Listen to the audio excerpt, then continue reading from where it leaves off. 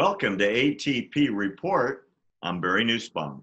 Our very special guest is back, Robert Spencer, the founder and editor of Jihad Watch, has a new book out. Uh, I urge all of our listeners to go pick it up at either Amazon.com or BarnesandNoble.com or wherever books are sold. It's a scholarly treatise that will explain to you why there is no peace and has been no peace, real peace, between Israel and the Palestinians. Robert, welcome back. Great to be back, Barry. Thank you.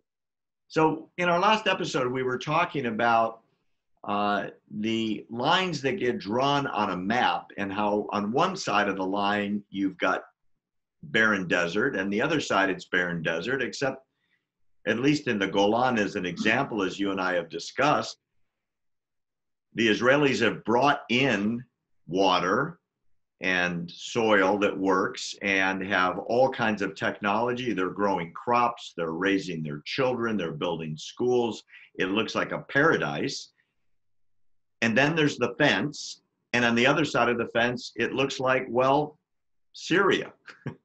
and we know what Syria looks like because it looks like Iraq and Iran and the rest of the Middle East, where civilization has to deal with who has more guns in which village. That's where you want to live, unless it's, well, an ISIS village. It's a profound demonstration in civilization versus not civilization. And it reminds me of the old adage uh, attributed to uh, the late Prime Minister of Israel, Golda Meir, who said, When the Arabs love their children more than they hate us, there will be peace. Because when you're on that border, and when I was last there, I saw live fire going on between two villages. They weren't loving their children at all. And the Israelis, as a result, at least in where we were standing at that day, had to be in a hole because there were bullets flying over our head. So let's start out. You were your book talks about the various peace plans. Um, every single one of them has failed.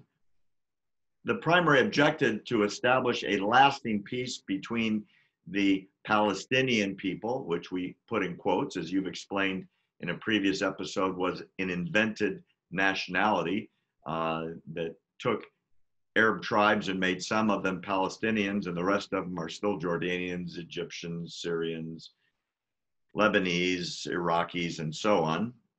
And the Israelis, uh, who want peace desperately. So, what would you say after the first deal, the Camp David Accords? What were the subsequent deals, and why did they go wrong, Robert? What what prevented the lasting peace that was announced with each deal? Well, in the first place, what you have after Camp David is the Oslo Accords, where Bill Clinton brought Yitzhak Rabin and uh, Arafat together to shake hands again, as Carter had uh, made Sadat and Begin shake hands.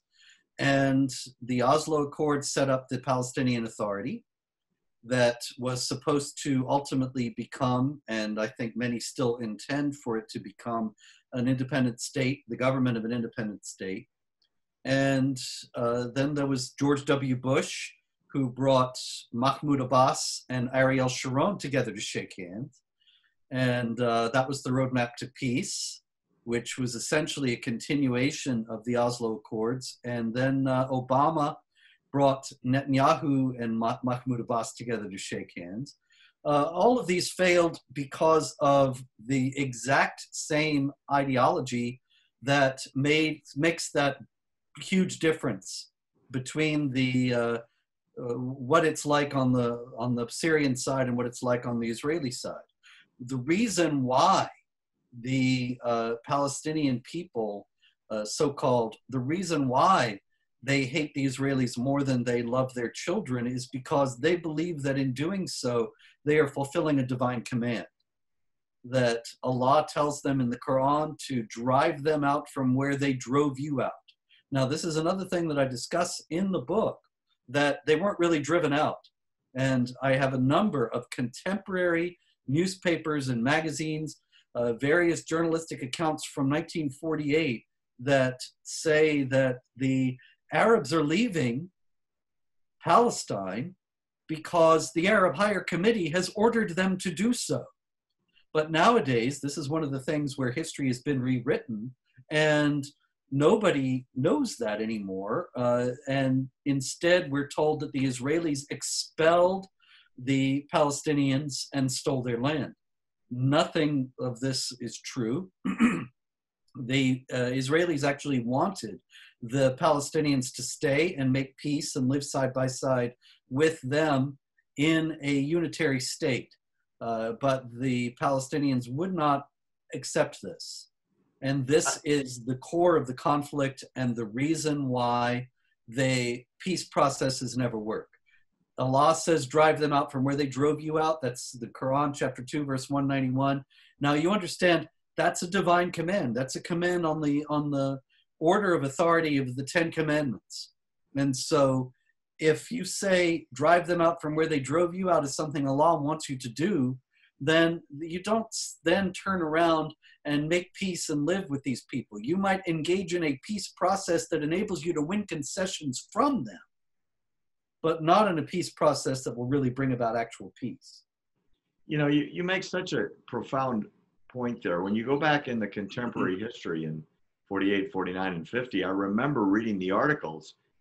The Arab leaders wanted the Arabs in Israel to flee because the armies were going to come in and wipe out the Jews, and then the territory would be divided up between the various Arabs that came back.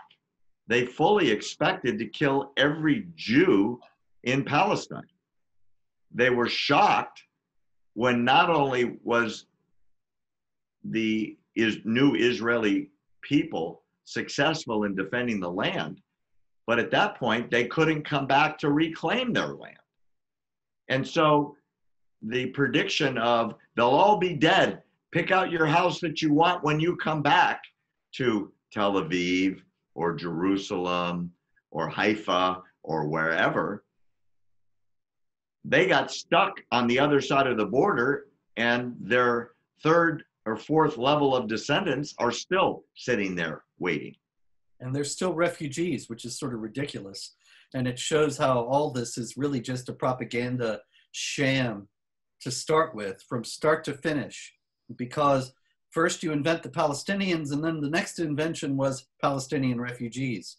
Look, uh, my grandparents were refugees from the Ottoman Empire. They were exiled from the Ottoman Empire. They left my parents were born in the United States. I was born in the United States. Neither my parents nor I are refugees. But I can tell you, Barry, that if my grandparents had been exiled from Palestine and let, went to the United States, and I was born in the United States, and my parents were born in the United States, then I would be a refugee. And so would my parents under the United Nations working definition of what a refugee is. The only refugee population in the world that passes down refugee status to the children, to the grandchildren, to the great grandchildren is the Palestinians. And this is so that they can ride the gravy train of international aid and keep on getting billions in refugee relief for people who have not lived in the place, not ever seen the place that they're supposed to be refugees from. It's a massive scam, and nobody seems to care. Isn't it amazing that the first person in national government in the United States is our current President Trump, who figured that out and, and cut off the money to this scam that turned a couple hundred thousand people into into millions and millions and in some cases are the fourth generation of these refugees that have never seen the land in which they consider to be their homeland. So let's switch gears for a second. Now, the current leader of the Palestinian people, Mahmoud Abbas, who goes by the nickname Abu Mazen, comes to the United States periodically, speaks on worldwide platforms on a daily basis, lives in a palace, is a multi-millionaire maybe a hundred times over was elected, what, 2004 for a five-year term, four-year term, I think, and he's still in office, so he's become dictator for life. It's been a long four years, Barry. exactly. He'll be there till they kill him or he falls over dead. Yeah, he's in um, his 80s now. It's about the only way there's going to be a regime change among the Palestinians.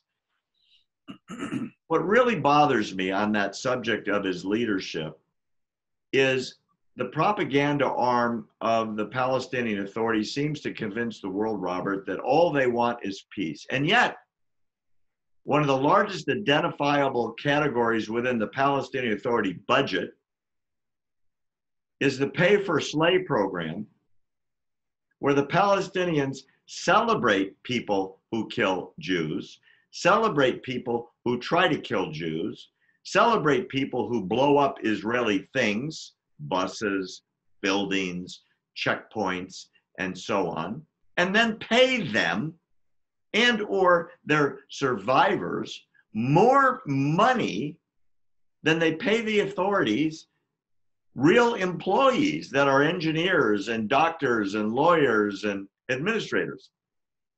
How in the world have they gotten away with this program everywhere but recently with the white house when trump finally said stop it or i'm cutting off the money abbas said he would stop it he didn't. So Trump cut the money. But the rest of the world keeps on paying.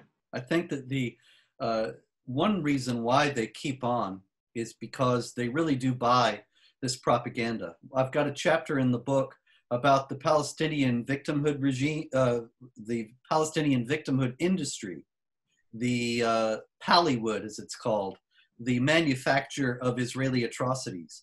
I can tell you that uh, at my website, Jihad Watch, when I post material about uh, Palestinians attacking Israelis, murdering Israeli civilians, and so on, invariably I get responses on Twitter or emails or in the comments field, uh, people telling me about some supposed atrocity of the Israelis. And invariably, it's fake. It either never, never happened or the details are completely changed. For example, I've got several examples in the book of photographs that were widely circulated of children who were supposed to have been killed by the Israelis. And one of them was a, a, a family in the United States who had a picture of their baby on Facebook. And a journalist, so called, in Jordan took that picture and said, This is a Palestinian child who was murdered by the Israelis. And uh, I've got many other examples of this kind of thing. I think that to a tremendous degree, world opinion is shaped by media outlets that, for whatever reason, either they're being paid or they're just completely clueless, they accept these stories and they actually think that the Israelis are committing war crimes against Palestinians and that consequently the Palestinians need our financial support and support of other kinds. Thanks for joining us on ATP Report. A special thank goes, thanks goes out to Robert Spencer of Jihad Watch and the author of a new book that I urge you to go get on Amazon and at barnesandnoble.com. Thanks, Robert. And for all of you viewers out there that want to get our stuff, our videos, and our writings on a daily basis in your cell phone, text the word truth, T R U T H, to 88202. You'll be signed up for our free text messaging service. It's always free. You won't be charged, and every day you'll get the information right on your cell phone or put in findbarry.com and you'll go to our website where you can sign up to look at it the old fashioned way on the web. For ATP Report, I'm Barry Nussbaum.